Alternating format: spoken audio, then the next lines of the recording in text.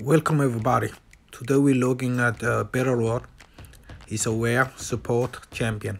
He's good farmer and good support. This video about how good he's a support Dragon 20, 4 rare and 1 legendary. Enjoy this video. Thank you for your watching.